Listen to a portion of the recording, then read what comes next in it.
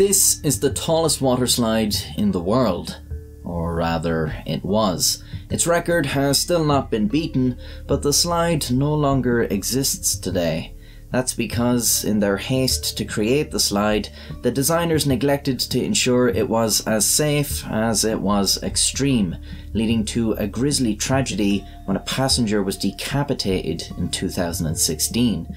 The details of how this incident, which many saw as inevitable, was allowed to happen are just as shocking as the fatality itself.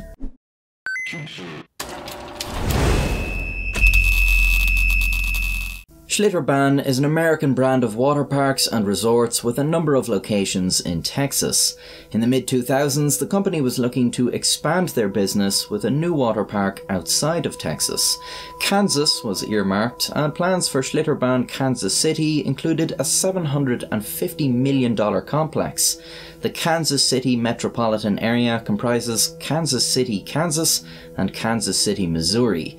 Kansas officials were eager to secure the proposed park in Kansas rather than the neighbouring Missouri. There was a small complication though. Kansas State required all amusement parks to subject themselves to state inspection to ensure rides are safe and meet regulations. However, in its home of Texas, Schlitterbahn was not required to do this, instead conducting its own inspections. As such, Kansas state legislators passed a law allowing Schlitterbahn to continue its practice of self-inspecting in Kansas. Before Schlitterbahn Kansas City could be built, however, the recession hit, and plans had to be dramatically scaled back to $180 million. It opened in 2009, but did not have the level of success co owner Jeff Henry was hoping for. In 2012, while at a trade show, Jeff Henry was asked by the Travel Channel's Xtreme Waterparks program what he was working on. Spontaneously, he came up with the idea for the world's tallest and fastest water slide, and it was announced that this record breaking slide would be opened mid 2013. Unable to find a contractor willing to construct his idea, Henry decided to build the slide himself, enlisting John Schooley as the ride's lead designer. Neither of the two had any technical or engineering qualifications. This did not stop them from designing Verrückt, German for insane, a 168 feet water slide consisting of a large steep drop followed by a smaller hump. The ride would send three person rafts down the chute at 70 miles per hour. With such a small window for development, Henry pushed the team to complete the necessary calculations for such a ride in a mere five weeks, instead of the usual three to six months. Development and testing of the ride was showcased on Xtreme Waterparks, with Henry and Schooley becoming increasingly frustrated with their engineers' miscalculations, as test rafts filled with sandbags were sent flying off the ramp.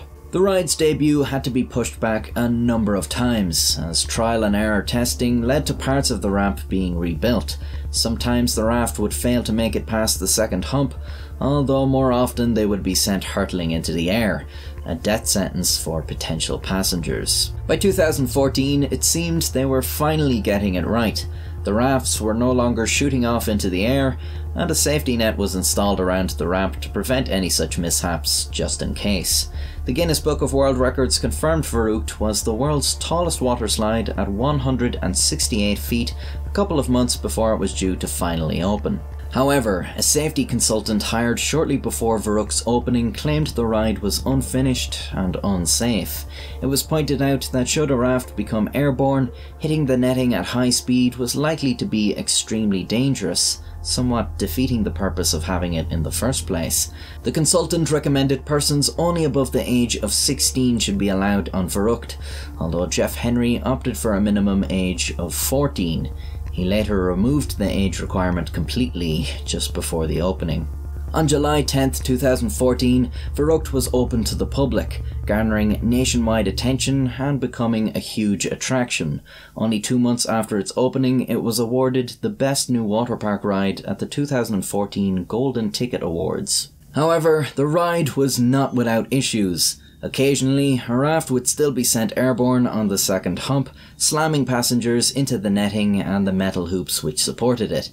At least 13 riders suffered from injuries such as concussions and herniated discs. Many other passengers also noticed how close their raft seemed to come to a collision, as well as loose and ill fitting safety straps.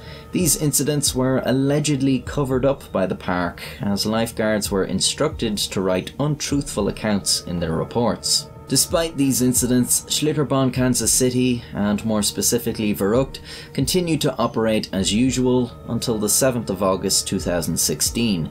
10 year old Caleb Schwab, son of Kansas State Representative Scott Schwab, was riding in the lead seat of a raft when it went airborne over the second hump. Schwab was thrown into one of the netting's metal supports, decapitating him. The women in the two seats behind Schwab suffered a broken jaw and a facial bone fracture between them. One required stitches. Schlitterbahn Kansas City was immediately closed pending an inspection. It would reopen three days later, but Verrückt would remain closed. Inspectors determined that the likely cause of the raft going airborne was the allowance of the 10 year old Schwab to sit in front of two much heavier people rather than in the middle, creating an uneven weight distribution. A number of regulations guidelines were also found to have been violated, including the ride's unsafe netting design, the use of Velcro straps instead of a rigid over the shoulder restraint, and a lack of upstop wheels to keep the rafts clamped onto the tracks. In the wake of the tragedy, Kansas revoked Schlitterbahn's ability to self inspect. The park was hit with multiple lawsuits, which it settled out of court. Reportedly, the Schwab family received around $20 million in 2017.